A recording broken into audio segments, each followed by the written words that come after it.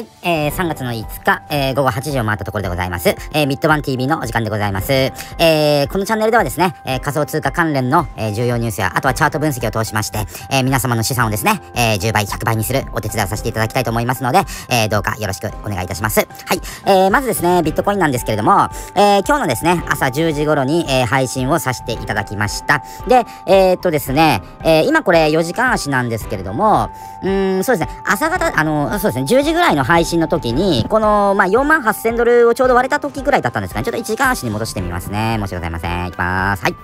えー、っと、そうですね、ここら辺付近ですかね。ここら、ここら辺付近ですね。はいはいはい。で、割れた、えー、直後ぐらいで、まあ、入ったと申し上げていたんですけれども、そうですね。そうですね、ここぐらいですね。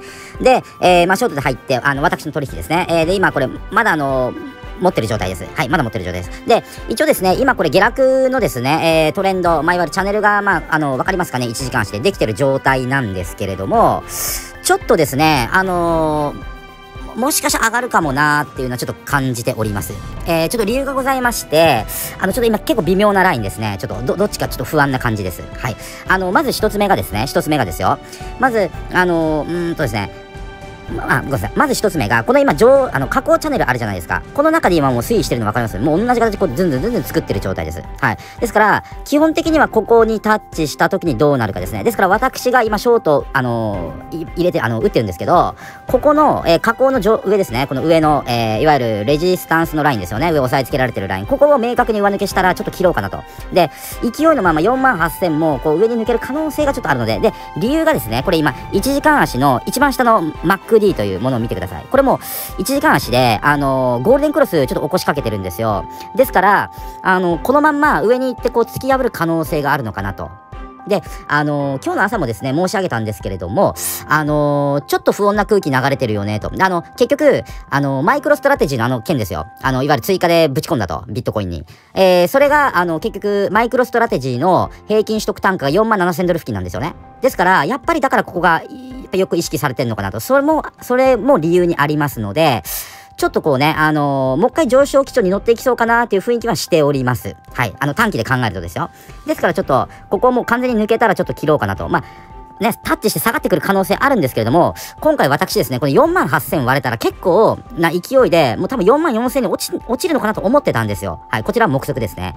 で、そこがなくて結構やっぱここで買い支えが入ってるので、ちょっとこれはですね、あのー、まあ、えー、売りの方はですね、ちょっと注意しておいた方が、ショートで入ってる方は、っていう風に、えー、感じ取れます。逆に言うと、ロングであれば、まあ、今からまた上昇基調が始まるかもね、という形でございますね。あとは、あのクラーケンの、あの、CEO の方が、あのね、10年以内に1億円いっちまうぞって、これ言ったのが、まあ、結構、あの、意外とですね、こういうのですね、あの、あの、この仮想通貨業界に入ってきた方、まあ、あの、日本人の方だけじゃなくて、もう全世界にいるじゃないですか。こういうニュースに意外と反応して、やっぱり上がるよね、バリーみたいな、こう、入れちまえみたいなのがあるんで、そういうですね、まあ、重鎮の方、まあ、大物の方のですね、発言っていうのも、やっぱりこう、影響を及ぼすような、今、相場環境にあるのかなという形ですので、ちょっとこうね、あの、予想外の上げが来たりとか、まあ、はたまた予想外のバリーという下げが来たりとかっていうのがございますので、一応まあ、でもあの、昔に比べるとですね、あの、結構、チャートが当てになってきてるかなと、トレンド的に、こう、動きがある程度明確になってきてるかなというふうに思いますけれども、まだそういう影響がですね、ちょっとは残っているので、そこら辺はですね、取引の際にはちょっとこう、注意しておいてもいいのかなというふうに感じ感じております。はい。えー、ですから、まだ、あのー、なんていうんですかね、あのー、ポジションを、まあ、例えば持ってないと、えー、ロングで入ろうかな、ショートで入ろうかなって悩んでる方は、まあ、まだ全然入らなくてもいいと思いますよ。明確にこの4万8000ドルのこのレッドラインを上抜けしてから、ロング、あのー、入っても、ここですね、申し分ないと思いますので、あのー、結構、こう、ギリギリのところで、あの、入るとですね、あの、今日の私みたいに、あの、やっぱり気になって気になってしょうがなくなる時もありますから、はいはい。あの、特に慣れてない方はですね。ですから、もう、安全なラインをきちんと上抜けしてから、ロング入れるとか、え、あのーなんていうんですかね、あの、きちんと、こう、損切りとか利確ですよね。ああいうラインをちゃんと設定しておくとか、そういう基本的なことをとりあえずまずはやっていきましょうという形でございます。えー、まあ、持たれてる方であればですね、ちょっとこうね、上昇基調が始まる可能性がちょっとありますので、えー、まあ、また嬉しいですね。あのー、上昇トレンドが、え、再開するかもしれないですよということでございますね。はい、次行きます。えー、リップルでございますね。リップルですね。うん、そうですね。あの、リップルもですね、一旦ここ、えー、いわゆる三角持ち合いの上限ブレイクしたんですよ。ズドーンって。ズドーンってブレイクしたんですけれども、ちょっと4時間足見てみますね。はいはいはいはい。そうですね。やはりあの、このですね、第一防衛ラインでございます。0.5ドル。えー、つまり日本円で言うと55円ぐらいですかね。そこまでパーンと吹き上げて、で、えー、落ちてきて、えー、ちょうどここら辺ぐらいで、え、要するに、これですね、上がって、え、ここ下がった、ここでタッチしたところら辺で今日の朝の放送がおそらくですね、え、したと思うんですけど、そうですね、朝ぐらいにしたのが、えー、今から3本前ぐらいですよね、そこら辺でしたと思うんですけれども、一旦ですね、またここ下支えされて、あの、戻ってくるんじゃないのと。いうふうに思ってたんですよ。なぜか。やっぱりこう、下髭がですね、結構長くて、下髭が長くて、まあ押し戻されていますし、次の線で、まあまたこう盛り返してくるんじゃないのかなと。で、ただまあ、その場合ロングで入るんであれば、もうこの0.5ドルぐらいで切っていいよって言ってたんですけれども、逆にちょっとこう、だらだらですね、今下がってきて、やっぱり持ち合いの中に入ってきたような状態になりますね。で、えー、そうですね、ちょっと1時間足でもう一度落とさせていただきます。はい、こちらですね。うーん、なんかこうね、動きとしては、こう、まあ、やっぱり微妙なところを今こう、推移しているという形ですので、まあ、そうですね、現物であれば何べも申し上げますけれども、まあ、買いで集めていってもいいのかなと。で、えー、FX に関しては、今どっちに動くかちょっとね、あのー、方向感がやっぱりこう、定まってない状態なので、うーん、まあ、FX 関係は、あのー、まだこう手をね、あの、つけない方がいいのかなというふうに思いますので、そこはまあ、あの、えー、ご自身でちょっと判断をしていただいてですね、あエンエントリーポイント決めていただくのがいいのかなということでございますね。は。ちょっとまあ、リップに関してはちょっと簡単めにいきましょう。はい。で、次ですね。ネムでございます。ネムです。まあ、ネムもですね、えー、そうですね、一旦まあ結構ね、あのー、どうですか、日本円で言うと90円ぐらいまでをつけた状態から、まあ、いわゆるダラダラダラと、えー、いわゆる加工をね、していっている状態ですけれども、わかりますかね？まあまあ、わかりますよね、全然。ここバーっとですね。で、下がって持ちこたえる、下がって持ちこたえる、下がって持ちこたえる、下がって持ちこたえるです。で、今、見るとですね、いいです？もうちょっとしたらちょっとこう上がりそうなのかなという気配はしております。気配は。これはもう、わかります？下のマック D 線をちょっと見てみてください。もうこれゴールデンクロスを起こしかけていますし、ビットコインがもうそろそろこう、やっぱりこう上がりそうな感じはするんですよね、ちょっと。えー、やっぱり買いがもう一回バーッと入ってきそうな感じがするので、それに伴っていくのかなと。ただ、ネムに関しては、そのビットコインと今これ釣られて下げてる状態に、あの、短期としてはなってるとは思うんですけど、思うんですよね。と、もしビットコインが下がってなければですよ。え、落ちてなければ、おそらく、もちろんございません。この青いところをサポートとしてもう一回多分跳ねてたと思うんですよね。これはまあ、たらればの話なんですけども、おそらくです。で、あのー、やっぱりビットコインの連動と同じようにこうやってガーッと下がってきちゃって、まあ1時間足で言うと長期の移動平均線、えー、あとはですね、まあ短期もここら辺で割れてしまいましたと。え、で、今、こう、ちょっとね、弱気な形になってるんですけれども、まあそうですね、仕込み場としたら逆に言うと、いいところにいるのかなと。え、あのー、入れていっても、まあ現物としたらですね、まああの、枚数を増やす意味で入れていってもいいのかなというふうに思っております。まあ、この通貨に関しては、どのみち、あの、あともう1週間ぐらいでですよね。1週間後ですね、ちょうど。え、1週間後までに、えー、まあ、上がってくるような形になると思いますよ。こっから、あの、僕が思ってたのはですね、こう、あるじゃないですか、こうトレンドのサポートがあったんですけど、だからここでこう抑えられて、ポンと、抑えられてポンで2段ぐらい上がった時に、だいたい来週のまあそうですね、頭ぐらいになってるのかなと。で、そっから、いわゆる、えー、大口のですね、売り仕掛けが1回入ってズドーンって落ちて、ここでもう1回、えー、上にガーッと上がってくるのかなと。で、ちょうど、あの、シンボルのですね、あの、いわゆるスナップショットの日が訪れる時には最高値をつけてて、えー、そっから売りでガリーといくのかなというふうに、まあちょっと思っていたんですよ。おそらく、あの、この眠でもしですよ、眠で、その売り仕掛けをしようと思ってた大口絶対いますから、えー、絶対いますから、全員とは言います言言わないですけれども、絶対いると思うんですよね、基本的には。で、そこの、ちょっと目測がおそらくちょっと外れてる感じになってるのかなという形がちょっと感じております。ですから、もしかしたら、ここも耐え切っていけば、もう、あのー、来週の金曜日までにも順調にガンガンガンガン行く可能性がありますので、今仕込み場としたらやっぱり何べんも言いますけど、ちょっといい時期なのかなということですね。ちょうど第2防衛ラインと第3防衛ラインの間ですし、あの、ビットコインが上がってくればですね、まあ、加減値としたらここら辺ぐらいが加減値として見ておいてもいいのかなというふうに感じておりますので、えー、購入するには、まあ、ちょうどいい、あの、時期ではないかなというふうに感じております。はい。まあ、どのみち、あの、スナップショットがあるんでですね、あの、シンボル1対1でもらえますので、えー、結構ですね、もう今下がってきた時は、買いだ、買いだって言って、あの、おしめだ、おしめだって言って、あの、買っていく方多いと思いますから、まあまあ、あのー、ちょうどいい時期なんかなというふうに、あの、感じております。まあ、今の金額で言うと、えっ、ー、と、70円ぐらいですかね。70円ぐらいですね。あの、直近最高値90円なんで、基本的にはそこまでガーッとですね、上がっていって、まあ、突き破るのかなというふうな、えー、希望的、えー、観測は、えー、持っておりますので、えー、そこら辺はまあ参考にですね、してみてくださいということでございます。次行きます。はい、IOST でございますよ。皆さんどうです？ちょっとこうチャートですね。まあ、あの、日本の取引所でもいいので、えー、今だったらコインチェックですかね。コインチェックでしか、えー、見れないんですけれども、今の価格帯がですね、だいたい、あの、私が申し上げておりました5.5円ぐらいでございます。はい、ちょっと1時間足にしますね。はい、1時、1時間足ですね。で、1時間足で言うと、おそらく、あの、私が午前10時ぐらいに、まあ、配信させていただいた時が、ちょうどここら辺付近ですね。ここら辺付近です。ですから、この黒い、えー、ラインですよ。わかります？この黒いラインを下抜けした後に私ちょうど放送で申し上げておって、まあ、そうですね、あのー、長期保有目的ならもうそろそろ入れていいよというふうには多分申し上げておったんですよ。で、あの、ビットコインが崩れるようなら、どのみちこの青、もしくは黄色ぐらいまでこう落ちてくる可能性があるから、まあ、難品買いしてもいいんじゃないですかと、長期保有目的であれば。っていうふうに申し上げたんですけども、そこら辺でまあね、あのー、枚数がある程度、こう、あのー仕込めてた方は、まあ、一旦ですね、こう、上がりが見られるので、だいたいいくらぐらいですか？えっ、ー、と、1円ぐらいの幅は取れてるんですかね、今。えー、1枚あたり。だから10万枚もし購入していれば、えー、そうですね、10万円ぐらいの利幅が取れているのかなという形でございます。もうそろそろですね、やっぱり吹き上げそうな形がしてますね。してます。ですから、えー、そろそろ現物としても、まあ、ビットコインのあれ、あのいわゆる動きにも、まあ、と、あの当然ですね、ビットコインの影響は受けるのはしょうがないんですよ。やっぱり注目されていたとしてもですね。ですから、あの、ビットコインが今耐え切って、あの先ほどありましたよね、加工の、えー、チャンネルですよ。加工の短期の加工チャンネルですね。あれの上限を抜けたら、あの赤いライン、次が上のレジスタンスになるんですけども、あそこを抜ければ、えー、基本的にはまた上目線で開始されると思いますので、また5万1500ドルを目指してですね、上にずんずん上がっていくような形になります。もう一度だけございます。もう一回ちょっとビットコイン戻ってみましょうか。すいません、こちこちらですね。1時間足のままなんですけれども、そうですね。ここ抜けたら赤抜けて、このまま5万1500ドルをずーっとこう目指すような形になるのかなというふうに思います。えー、100日のですね、移動平均線で頭を抑えられる可能性はあるんですけど、やっぱり4万8000から4万7000はですね、結構硬いので、えー、基本的にはこちらを目指す形になるかなというふうに思っております。短期ではですね、申し訳ございません。iOS に戻りますね。はい。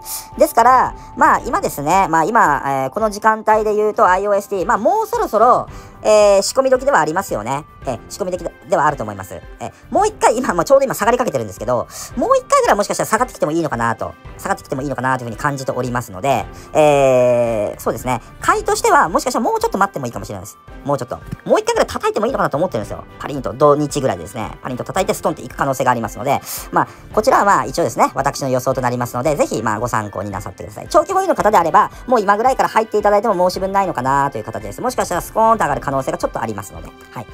そういう風に、えー、一応作戦としてはお伝えしておきます。イーサリアムですね。次行きます。はい。イーサリアムなんですけれども、いいですか？皆さん。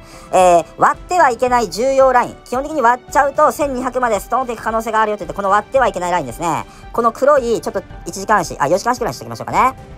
はい。えー、この黒い2本のラインなんだと。何勝手に引いてんだと。こちらですね。こちらはいわゆる、えっ、ー、と、もう何べも申し上げております。昔からあの、聞いていただいてる方はもうね、あの、耳にタコができるぐらい聞いてると思うんですけれども、こちらはいわゆる、えー、イーサリアムの、えー、いわゆる上昇トレンドの、えいわゆる下限値と、え上限値になります。かなり長い間、ここの間をずっと意識して移動してきてるんですよ。まあ、縮小してるんですけど、わかりますかね？かなり長い間ですね、こう、移動してきてます。はい。で、えやはり、ここのラインがですね、やっぱり今サポートになって、もう多分バチバチに今効いてる状態ですね。このレッドラインも重なっております。ですから、えー、ただいまの価格がですね、1473ドルですね。ですから、15万円ぐらいですかね。そちらをまあ推移しているような形なんですけれども、いいです？もし、今のこのラインですね、割れてしまうと何べんも言いますよ。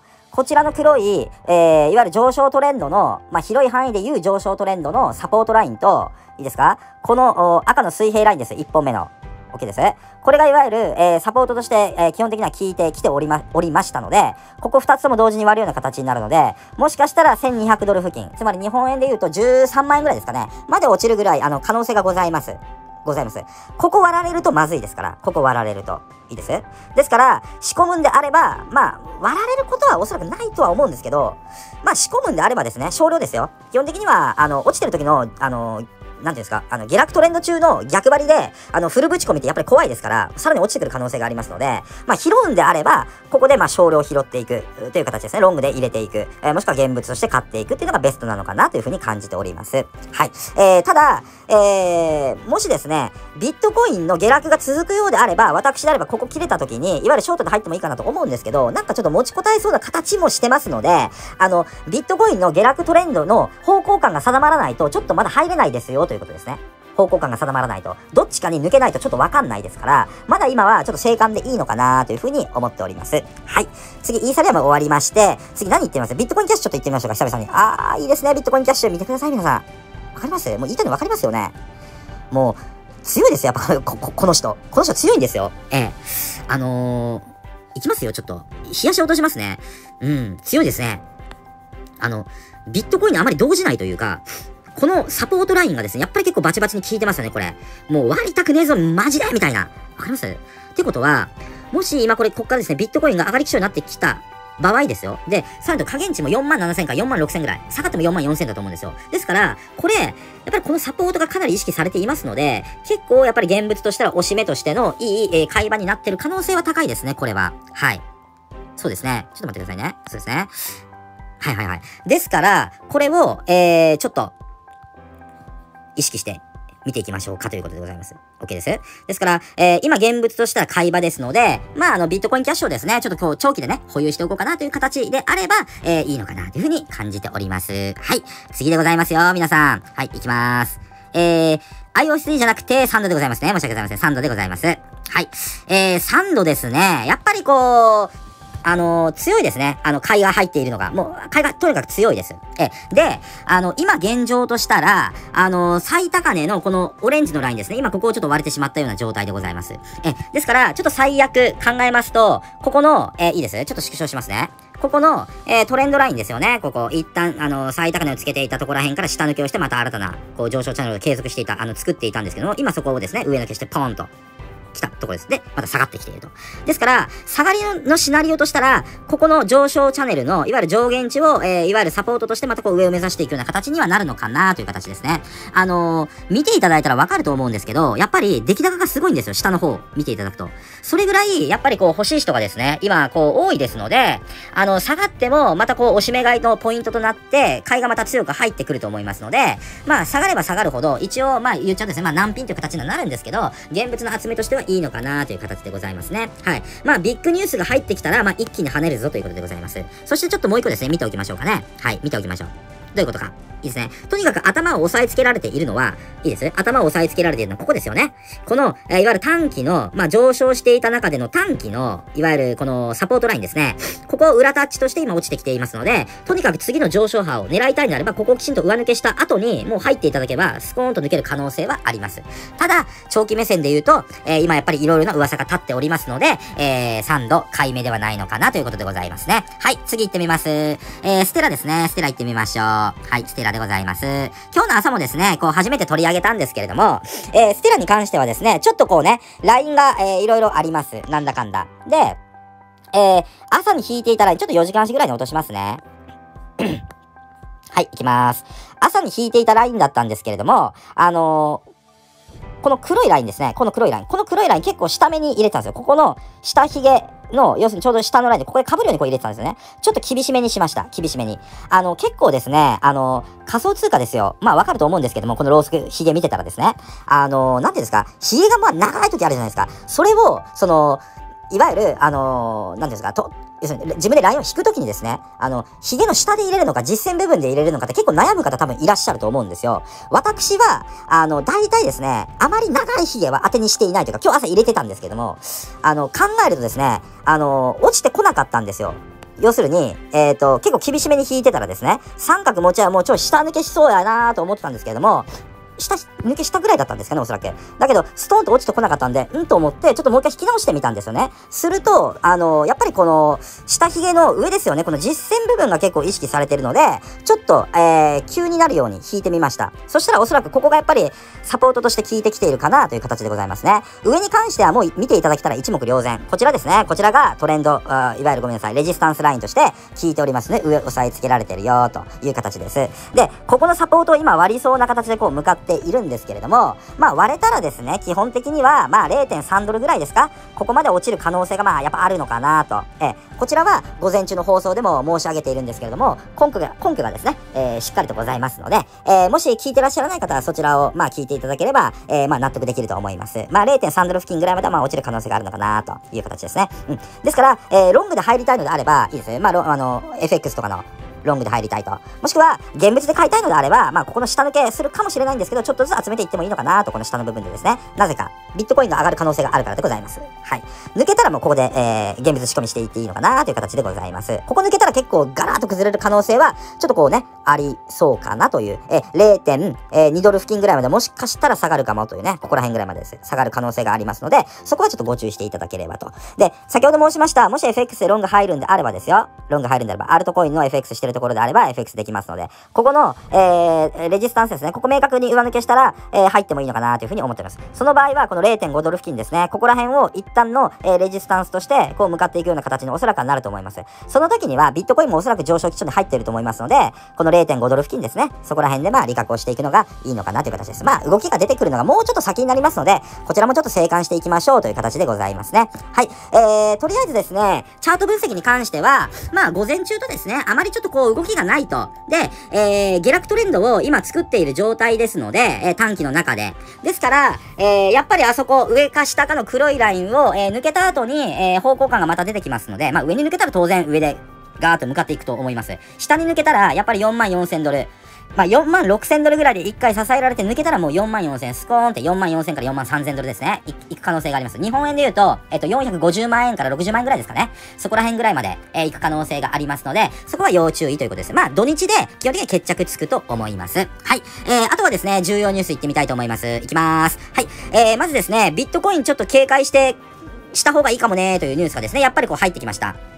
覚えてます？この前の下落した時のです。あの、ザーンみたいな。はい。あの、カメハメ、カメハメハですね。すいません。カメハメハです。あれが起こった時が、えー、いわゆるちょうど私、あの、放送の時にちょっと言ってたと思うんですけれども、おそらく。えー、やっぱりあの、アメリカの金利がですね、あの、上がってきてると。となると、やっぱり、あの、リスク資産ですよね。金とか、ちょっと下まで流しますね。えー、金とか、やっぱり株とか、あの、ああいうものとは、やっぱりこうね、あの、逆相関という状態になってしまいますので、その中に、やっぱり、あの、この仮想通貨のビットコインとかも入っているよと。ですから、ちょっと警戒した方がいいかもねというふうにニュースでございますね。はい。一応、上から下まで流しております。ので、え、下の方に書いてますね。こちら。えー、こちらですね。例えばというところです。2月25日には、えー、まあ、えー、アメリカのですね、金利が急騰して、えー、リスク資産から、えー、まあ、アメリカの、あの、金などのですね、安全資産への、えー、資金移動が起きたと。あ、きあ、申し訳ございません。えっ、ー、と、株などのリスク資産から申し訳ない。金は、ごめんなさい。あの、安全資産ですね。すいません。で、ドドルですね。あちらの方への安全資産の、まあ、移動が起きたと。で、まあ、現在のトレンドが続けば、というふうに書いてますね。えー、短期的な逆風となる展開も、まあ、あの、想定した方がいいですよ、ということですので、